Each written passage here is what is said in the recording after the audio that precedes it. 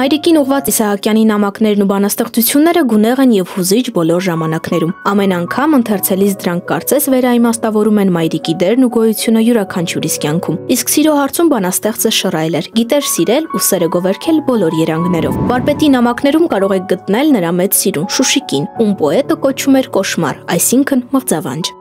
Նորից վեր եմ առնում գրիչս, թաթախում եմ հիվանդ արյունոտված սրտիս մեջ եւ գրում եմ քեզ Շուշիկ։ Մի քանի տող գրում եմ ես, Ավետիք Իսահակյանս։ Ավետիք Իսահակյանի տուն թանգանում պահպանվող նամակները մոտ 65-ն են։ Ուզում եմ նշել նաև, որ այդ նամակների մեծ մասը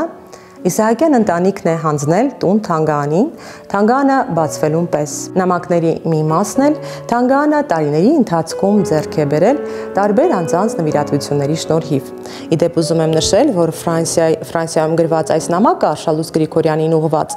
Նրա Արշալուս Գրիգորյանի քույրը Լասը հա, ուղարկել է Հայաստան գրականության եւ արվեստի թանգարան, այնուհետև գրականության եւ արվեստի թանգարանը սիրով հանձնել է Ավետիք Իսահակյանի տուն թանգարանին։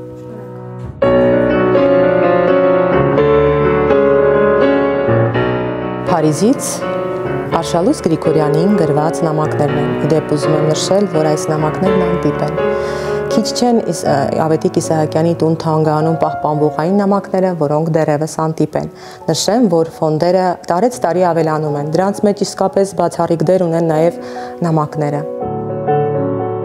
Շուշան Ասատրյան, Արտակ Մարտիրոսյան, Արավոտը շանթում։